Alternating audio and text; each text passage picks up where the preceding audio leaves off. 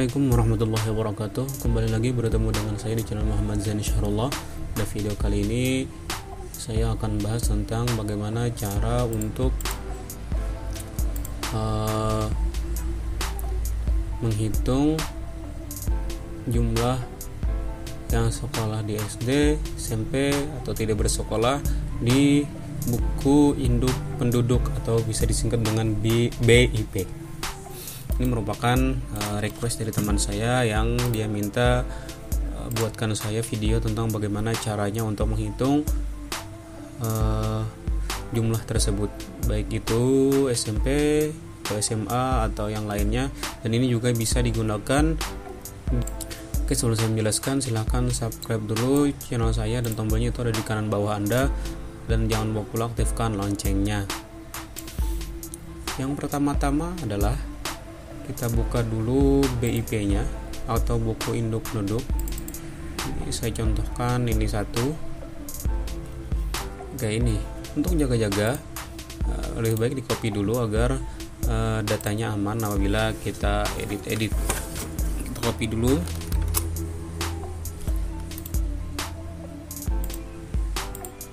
Eh, kita copy dulu. Misalnya ini kita copy di dokumen saja. Kita copy di dokumen.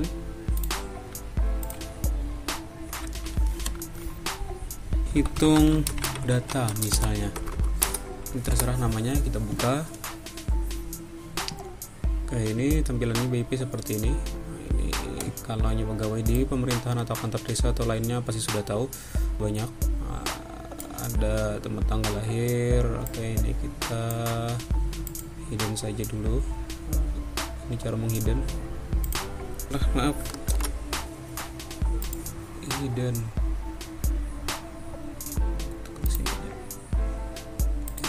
Oke ini kita hit. Kita hit lagi. Ini kita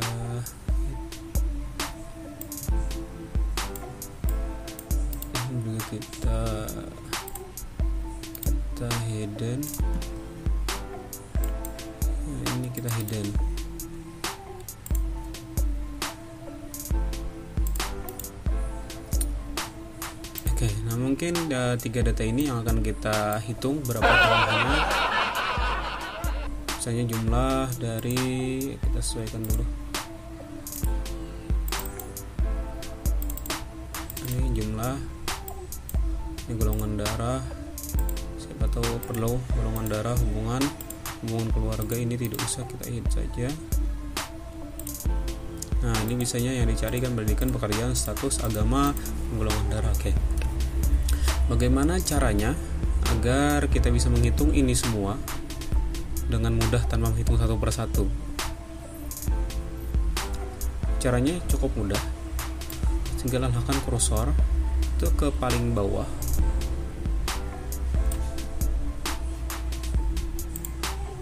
Atau terserah mau di mana tapi ini kita taruh di bawah saja misalnya kita mau menghitung pendidikan. Ini pendidikan ini kita lihat ini ada berapa macamnya. Tamat SD sederajat. Oke kita dari atas saja. Dari atas yang pertama kita saja.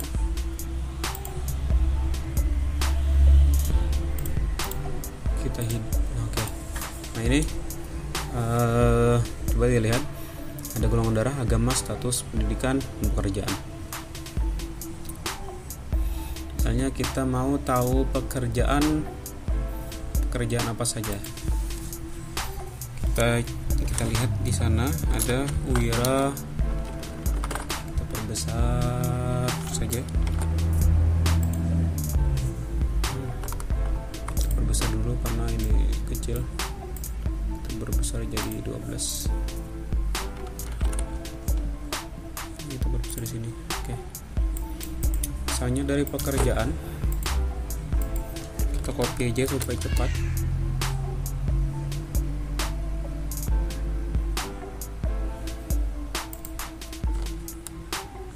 Copy di sini.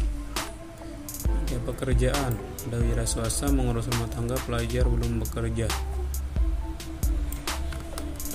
Copy lagi di sampingnya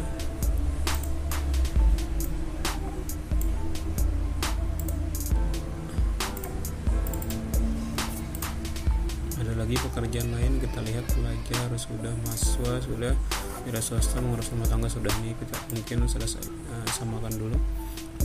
Samakan dengan yang di sini karena di situ harus sama. Belum tidak bekerja wira ada pedagang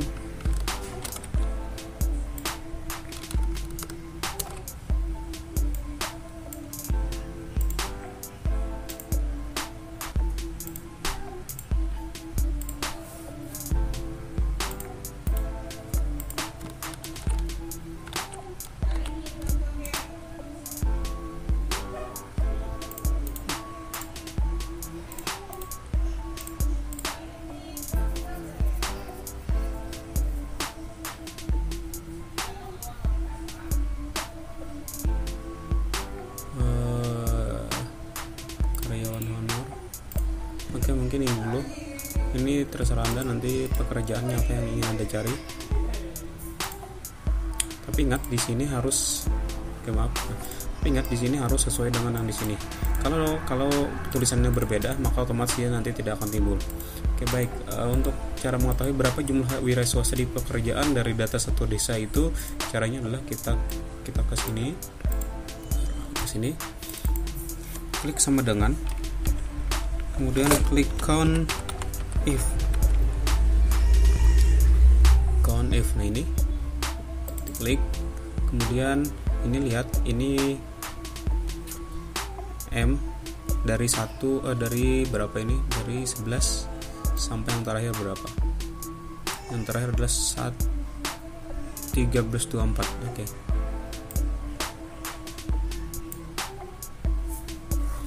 Berarti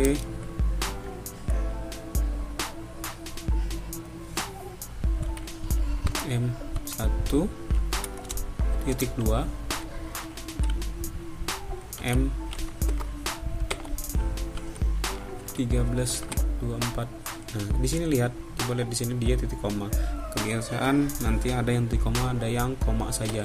Lihat di sana. Dan kemudian kriterianya yang ingin kita cari misalnya kita ingin mencari berapa jumlah wira swasta dalam desa tersebut. Nah kita tulis wira swasta harus sama seperti ini. Ingat harus sama seperti itu. Untuk besar atau kecilnya tidak masalah. Wira swasta. Ketik dua baru tutup kurung. Nah, ini jumlahnya untuk wira swasta. Dia akan timbul kalau tidak percaya hitung sendiri aja yang jelas ini untuk wira swasta. Kemudian lagi untuk mengurus rumah tangga. Tinggal copy saja. Sini. Nah tapi ini biasanya kalau kita copy dia berganti. Ya kita ganti lagi. Satu tadi kurangi satu kemudian sampai satu tiga dua empat. Nah kita ganti dengan ini. Mengurus rumah tangga. Ingat tulisannya harus sama. Mengurus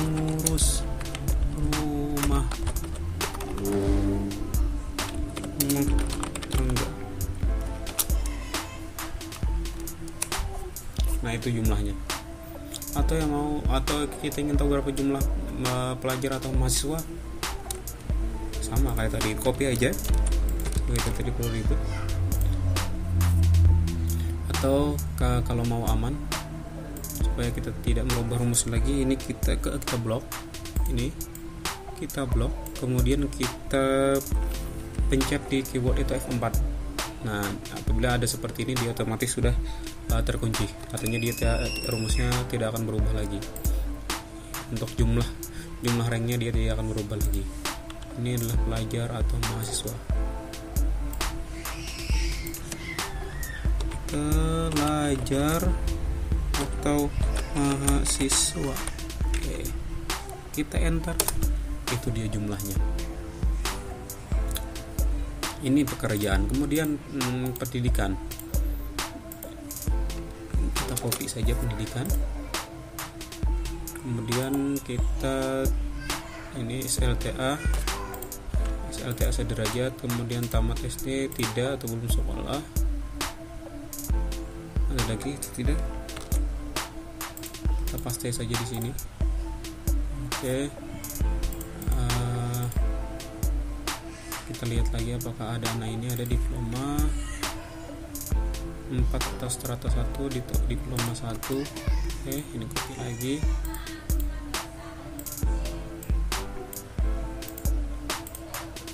Hmm, ada lagi ada lagi atau tidak? SD sudah tidak belum sekolah sudah. Oke ini akademi diploma 3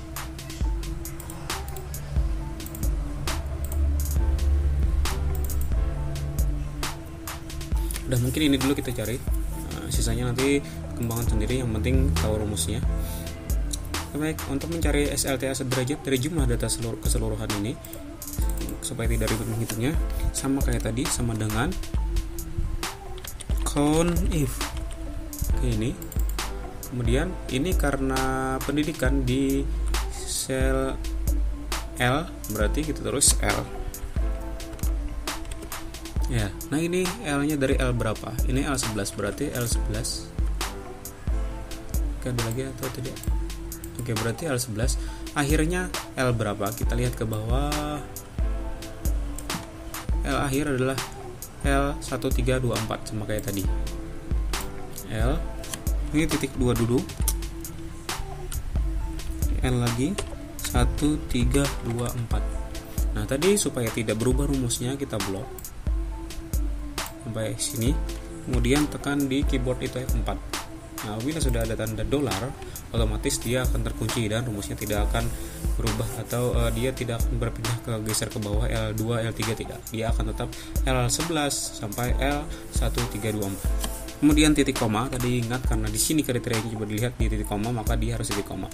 Kemudian ada petik. Nah yang kita cari adalah SLTA sederajat. S LTA sederajat. Tanda petik lagi baru tutup kurung. Oke nah ini jumlahnya. Berarti satu desa A itu keluarga yang lulus dari eh, lulus di SLTA ada 116 orang. Kemudian kita copy lagi kita tarik saja. Coba lihat ini L11 sampai L134 apakah berubah tidak berubah. Nah itulah fungsinya kalau kita tekan uh, ini F4 tadi. Kemudian yang kedua tidak tamat SD atau sederajat. Kita hapus kita ganti tulisan ininya. Yang lain tidak usah diganti yang kita ganti apa yang akan kita cari saja. Tidak tamat SD sederajat. Tidak tamat SD untuk besar kecilnya tadi tidak masalah. Sederajat Oke, nah ini jumlahnya. Lagi misalnya tidak atau belum sekolah sama kayak tadi. Tinggal tarik ini ini tarik ke bawah set tarik ke bawah. Kemudian yang kita ganti adalah kriterianya saja. Tidak atau belum sekolah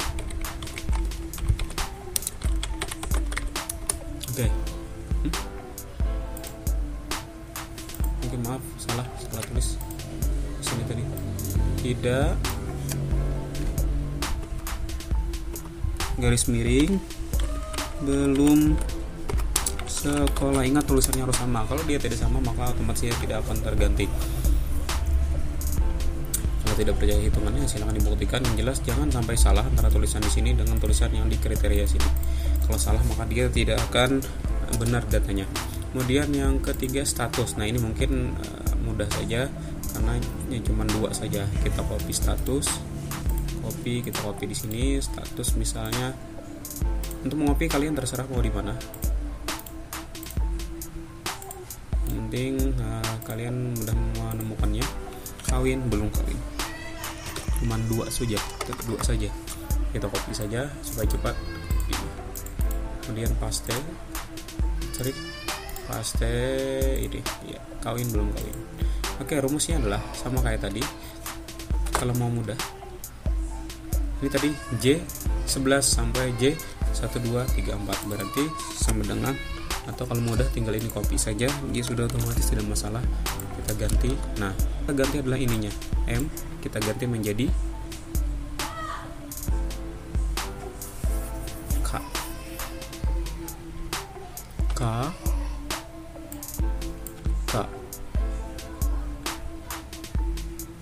bukan. Ini apa tadi? Oke maaf dia terlindung rumusnya. J J oke maaf J.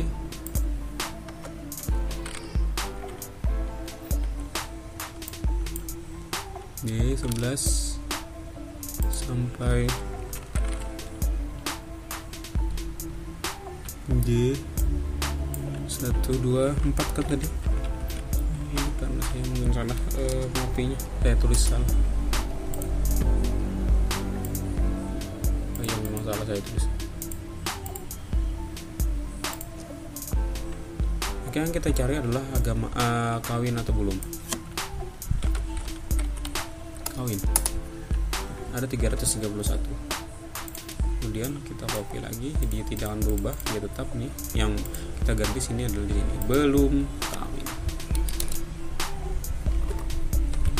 Belum berarti nah, sudah didapatkan belum kawin kemudian untuk agama agama kita copy paste saja kayak tadi. Agama di sini ada agama apa saja? Oh ternyata di sini ada cerai kan? Oh iya sorry maaf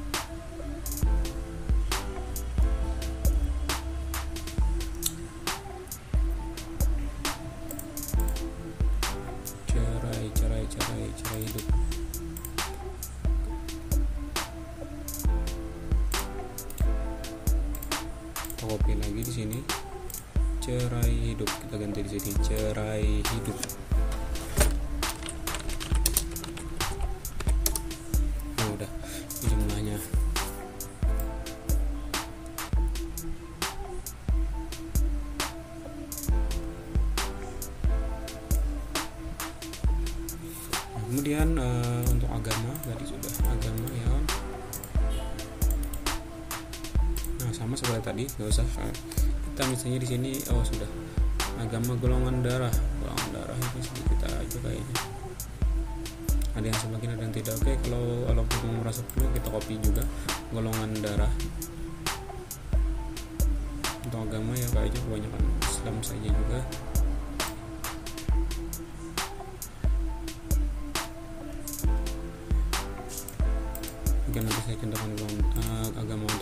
dulu golongan darah ada AB O A. A golongan darah ada B ada AB ada O. Ini kita copy kayak tadi sama. Karena rumusnya tidak berubah untuk jumlah untuk berapa berapa hasilnya. Yang kita ganti di sini adalah ini. Ini berarti i kita ganti j nya menjadi i. I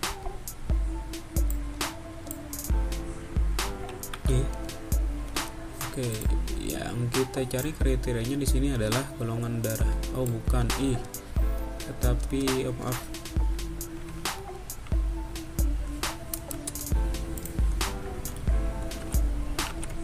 Oke golongan darah. Maaf sorry. Kita copy. Ini tadi copy ke sini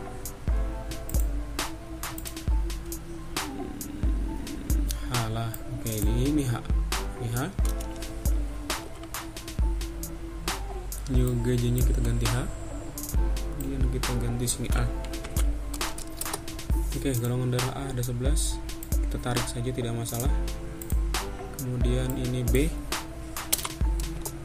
Ada 43 kemudian ini AB ada 7 dan kemudian O. Ada 41 nah ini karena dia sedikit jadi yang terakhir adalah agama.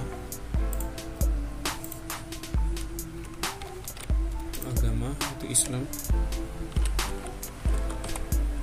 Jadi tidak selain itu kita cari karena tanya banyak. Nah silahkan dipilih saja kalau merasa di sana ada eh, yang lain selain agama Islam. Kita bisa cari tahu kalau kita ingin mencari jumlahnya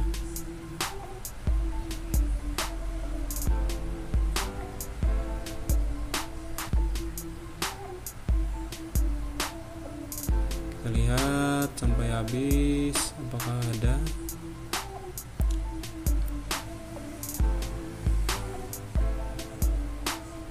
Mungkin kan ternyata tidak ada berarti tidak usah dicari. Nah itu itulah tadi cara mencari eh, jumlah-jumlah dari data BIP tersebut. Misalnya pendidikan kita ingin menghitung berapa SLTA nya menggunakan seperti tadi rumusnya. Nah yang jelas rumusnya di sini yang kita pakai adalah sama dengan ini saya perbesar aja supaya supaya hmm, dengan count if. Ini rumusnya. Kemudian setelah ini klik atas ini dia buka kurung. Nah kemudian kita tulis berapa ranknya. Dari mana sampai mana yang akan kita cari. Karena tidak kita cari dari uh, sel M seluruhnya. Uh, row M maka kita cari keseluruhannya. Nah, dari sini kan tadi kita hitung 1 sampai 13 1 eh kan M 1 tadi. Titik 2 nah ini pasti titik 2 tidak ada berbeda. M 1 2 3 4 1 2 3 4 nah dia akan otomatis terblok kemudian setelah itu tinggal lihat di bawah sini apabila dia koma saja maka hanya masukkan koma. Tapi apabila dia titik koma maka dia harus titik koma. Kemudian tanda petik 2 di atas seperti ini. Apa yang akan kita cari? Misalnya kita ingin mencari ini tentara nasional Indonesia. Nah, nasional Indonesia. Kemudian tanda petik lagi baru tutup kurung. Tutup kurung itu adalah shift 0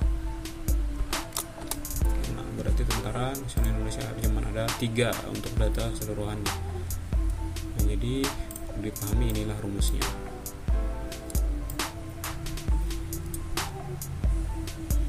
Nah, mungkin itu saja penjelasan dari saya tentang bagaimana cara mencari jumlah data dari BIP atau ini bisa digunakan ke ke data-data lain yang ingin Anda cari rumusnya. Yang jelas rumusnya adalah tadi saya sebutkan count if. Ingat rumusnya adalah count if. Nah, ini rumusnya. Count if. Dan seperti ini bentuknya sama dengan count if kemudian buka kurung kemudian rank berapa rank ranknya dari mana sampai mana yang akan anda cari itu diperhatikan kemudian titik ke titik koma kemudian nah, tanda petik kriterianya apa yang anda cari kemudian titik dua lagi kemudian tutup kurung. Nah itu rumusnya. Oke mungkin sampai sini dulu video saya tentang bagaimana cara mencari data atau menjumlahkan data BIP dengan kriteria tertentu sekali lagi saya mohon untuk subscribe channel saya ini dengan mengklik tanda subscribe di kanan bawah Anda dan jangan lupa pula aktifkan loncengnya. Kemudian juga uh, kalau ada yang ditanyakan silahkan komentar di bawah atau ada koreksi-koreksi silahkan komentar di bawah dan koreksinya saya harap koreksi yang membangun agar uh, video ini lebih bagus lagi atau channel saya lebih bagus lagi. Saya ucapkan terima kasih karena sudah menonton dan sudah subscribe. Semoga ada manfaatnya. Akhirul kalam. Wassalamualaikum warahmatullahi wabarakatuh.